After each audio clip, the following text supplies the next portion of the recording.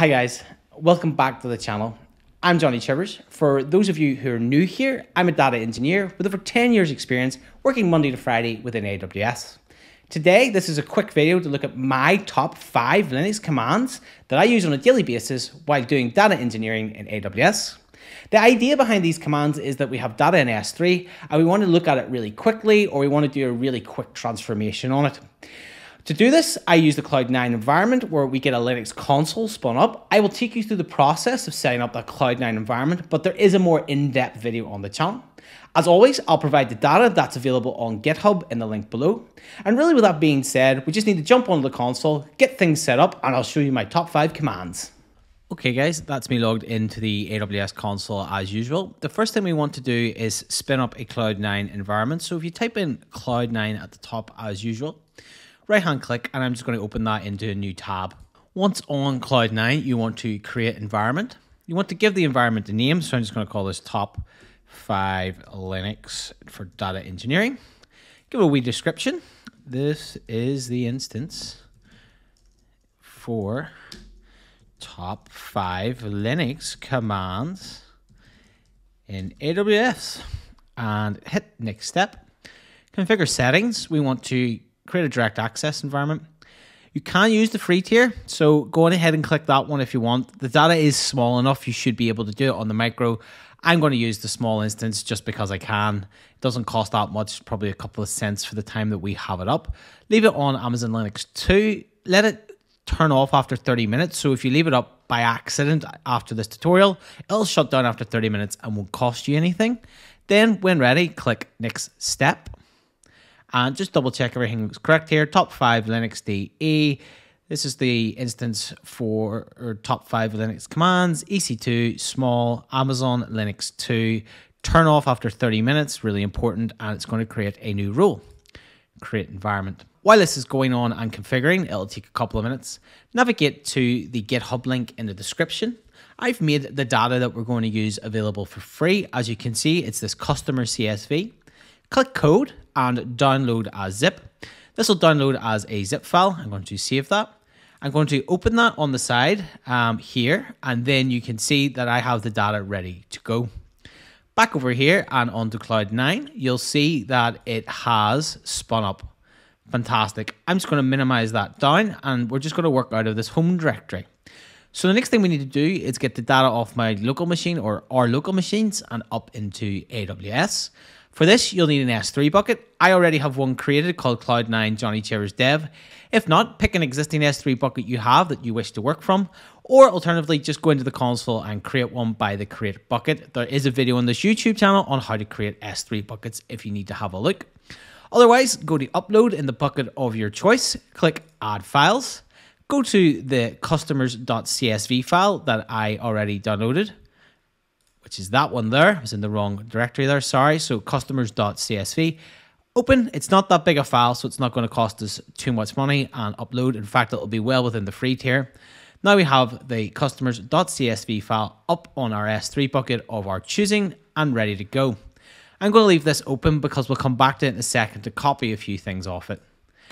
Back on the Cloud9, you'll have a terminal down the bottom. If you lose this terminal at any point, you go to Windows, new terminal, and you get a new terminal. So that's Windows, new terminal, and you get a new terminal. Alternatively, you can click the plus button here and go new terminal, and that's a new terminal.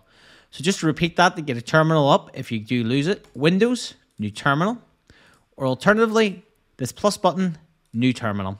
But for now, we'll just work on this opened terminal as we logged in. Now for my first command that I use on a daily basis, and this number one command is something I find personally really useful. Let's say we get a file in and it's absolutely massive. So I know this one's only 1.9 192 kilobits, sorry.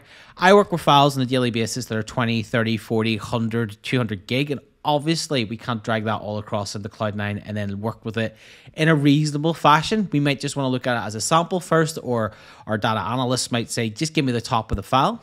This is the best command for just dragging out maybe the first couple of hundred rows, hundred thousand rows, or a couple of gig of a file that might be terabits in size just to have a look at. And that command is the AWS S3 API command. So this is an in-depth command for AWS S3. But what I find most useful this command is that I can specify the range in terms of bytes of data that I want. So I do not have to bring the whole file across. I bring a range of the file across in bytes. And that's done by get hyphen object. Then you need the name of the bucket, which is actually, sorry, double dash bucket. Then the name of the bucket that you want to bring the data out of. So in this case, it is this bucket here. You'll have your own bucket name. So just copy, I'm just going to paste that in. Then it's hyphen hyphen key. And if you jump back onto your S3 console, your key is down here on the left. So just copy that across and paste that in. The next argument is hyphen hyphen range. So this is the range of data we want to bring in. I'm going to specify it in bytes because my file is quite small. So bytes equals zero. So that's from zero bytes up to, I'm going to say 20,000 bytes. So bring me in the first 20,000 bytes of the file. And the last thing to do is specify the file name that we want to call it when it gets in. So I'm going to call this dot forward slash. So that means this directory. And then we'll just call it customers hyphen csv dot csv and hit enter. And as you can see, you get this response message back on the console and our data has appeared on the left hand side. I can't open this file up because it's only 88 rows. If I was working with something over, I think it's two megabits, you cannot open it in this viewer. So that's really important to remember for the rest of this video. In this example, we can see the data, but in larger data sets or larger data sources, depending on our range, we won't be able to view the data. So I'm just going to quickly clear the console so we have nothing on it. Oh, clear. And this brings us on to my next command that I use on a daily basis in Linux, and that's the head command. Head is show me the top of the file. So if I type in head dot for this directory forward slash, and then if we type in cust, and if you want to have an autocomplete, just hit tab. So just hit tab and it'll autocomplete for you. This shows us the top of the file, as you can clearly see, the first 11 rows. But let's say, hey, I want to see more than the first 11 rows. I want to see the first 20 rows.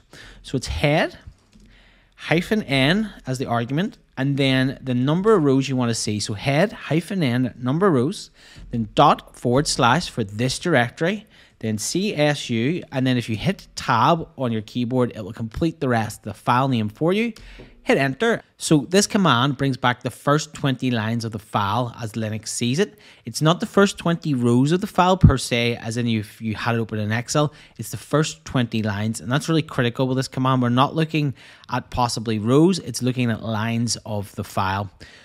So with that being said, then my next favorite command is actually tail because it lets you see the bottom rows or lines of the file. So if you type in tail dot forward slash and then autocomplete again with cust. That brings back the kind of bottom couple of lines of the file. I'm just going to clear that quickly and type that in again. And that's easier to see. So you can see that we're actually now looking at the bottom of the file. And again, if you want to bring in just a certain amount of rows, it's tail hyphen n, number of rows you want, and then the bottom of the file, which is that. So that's the last 20 lines of the file as we see them or as the Linux environment sees them. So that's really critical. So that's the tail command. So that's head and tails. The fourth command that I use on a daily basis is the sed command. And this command is actually to take samples of the file. So sed is an in-place stream editor. It looks at row by row, which means if you're working with large volumes of data in Linux, you won't fill up the memory. Actually CPU based, where you're looking at the entire file a line at a time. So sed is the library and it comes inbuilt into this Linux instance for us. And again, for the number of rows, two quotes go back inside the quotes. Start at zero, then a little tilde, so a little curly, curly squiggly line. 5p, so give me a sample of every fifth line as it sees the file. Again, go into the directory of this file, and this little greater than sign means output from the customer-csv file to the new file that we'll give it a name. So I'm going to call this one customer-sample.csv hit enter and you can see that it appears up here. And this time we're just looking at every fifth line as the Linux editor actually sees the data. Which brings me on my final command, and I love this one. When you need to do a little bit of quick transformations on the data in place so it fits an algorithm or a data analyst can put it into a model really quickly, again, you can use the sed editor. So sed is so good. And this time we're going to look at a find and replace function. So no matter how big your data is, sed will look at this line by line. And this has its advantages when you're working with massive data sets because you don't need a lot of RAM. You're looking at it line by line. So you'll never get one of those out of memory errors with sed, which is fantastic. So it's sed, then S, which stands for string, then forward slash. And what we want to do in this case is the false that you can see here. We want to change that to a lowercase f. So we want to find false and we want to change it to lowercase f. So we type in false. So string, search strings, find false, then another forward slash, replace that with f, then another forward slash, add a G command for global. So let's just run over that one last time. S at the start for search string. False is the word we're looking for. F is what we want to replace it for, and G means globally, do it in the entire file. And then it's the input file, so it's customers hyphen CSV the greater than sign again because we need a new output file and it's dot oh, it's dot forward slash and then the name of the file uh, that we want to call this where we're going to replace false with f. So I've just called it customer hyphen f dot csv hit enter and then as you can see as you can see we have a new file where we've replaced false with F. So that's it from my top five Linux commands on AWS. This is something I use on a daily basis every day in my work. I think they're vital to know, and especially when you can run them all inside that Cloud9 environment. As usual, I'll make all this information for free on my website, www.johnnychivers.co.uk, link in the description below. Please like and subscribe to the channel because it really helps me out in terms of these videos. And until next time, guys, thanks for watching.